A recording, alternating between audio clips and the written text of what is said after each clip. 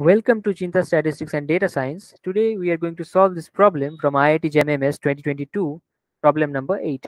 The problem says that let x1 and x2 be two independent and identically distributed discrete random variables having the probability mass function as this f of x is equals to half to the power x for x 1, 2, 3, 4 and so on and 0 otherwise. Then probability minimum of x1 and x2 greater than equals 5 is equals to the following four options are given.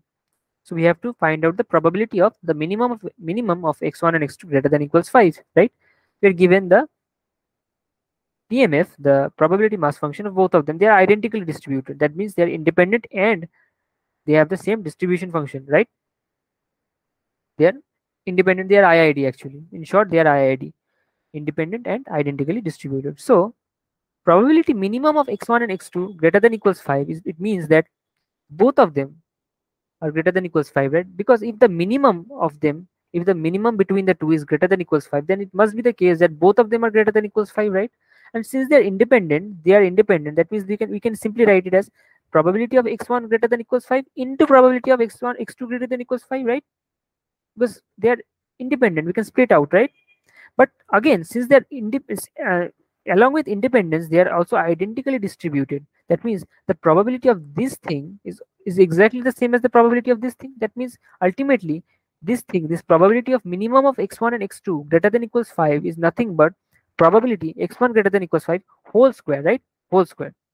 So we only need to find out the value of this probability. Probability x1 greater than equals 5 which is obviously pretty easy because the PMF is given so probability x1 greater than equals 5 can be written as probability is 1 minus probability x1 less than 5, right?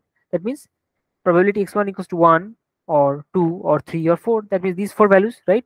Because if x1 is less than 5, then the possible values it can take is 1, 2, 3 or 4. Then what are the what are the corresponding probabilities? We can use the PMF. The PMF is given this one and say that these are correspondingly half 1 by 2 square 1 by you know, 1 by 2 cube and 1 by 2 to the 4 which is ultimately 1 by 16. Now this is not the answer.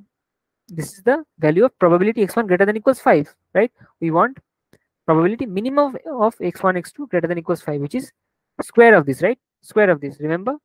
Square of this thing. So it's 1 by 16 whole square. That means 1 by 2 to the 1 by 2, um, 256. The answer is 1 by 256. This is the answer. It's a very easy problem. It's a very easy problem.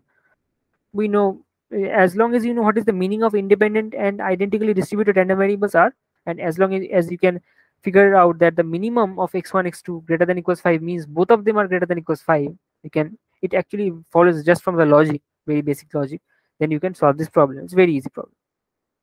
Very easy. So there you have it the solution to this problem.